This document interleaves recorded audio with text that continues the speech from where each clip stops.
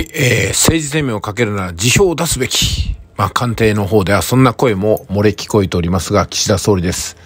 まあ、なんとですね、岸田総理、増税に対して、絶対に折れないぞ、と。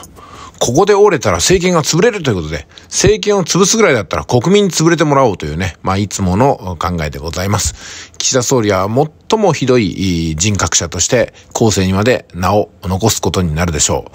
う。人にはね、政治生命をかけるなら辞表を出せと言ってきながら、自分では政治生命をかけるために辞表は書かないという問題ですね。なかなか面白いことを言う人だなと思いますけども、記事の方を読んでみましょうか。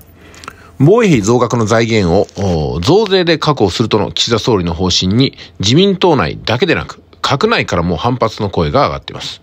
今後の政権運営の見通しについて、国会記者会館から中継ということで、TBS テレビが報道しておりますね。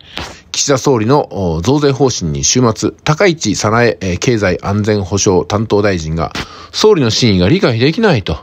厳しく非難しましたが、官邸幹部は、政治声明をかけるなら辞表を出すべき。と書いてますね。ということは、辞表を書いてない人はみんな政治声明はかけてないってことなんでしょうね。まあ、そもそも政治声明って何ですかね単なる転職するだけでしょ。何なんですかねじゃあ、あれですか派遣社員が転職したら、派遣社員声明をかけるなら辞表出せっていうことですかね。まあ、それとも職業に規制はあるから、政治家さんは立派な職業で、それを支える機関校はどうでもいいというふうな、まあ、いつものあれですかね。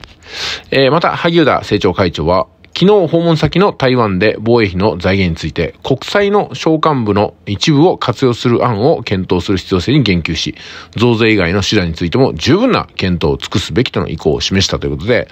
何でもかんでも増税すりゃいいってもんじゃないんですよ。え、増税ってのは要するに政治家さんの、まあ、白旗宣言なんですよね。俺たちにはどうでもできないからさ、頭使うよりも国民に払わせようやって感じですよね。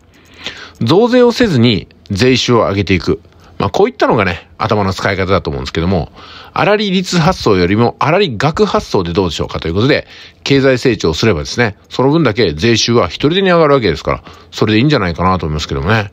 新しい税金っていう仕組みをいっぱい作って、税金クリエイターとされてる、この岸田総理ですけども、そろそろ勘弁していただきたいなと思うのと同時に、野党の情けなさにはね、もういい加減サジを投げましたね。